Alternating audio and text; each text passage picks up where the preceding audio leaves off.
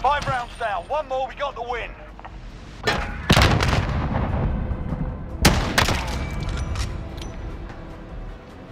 Switching sides.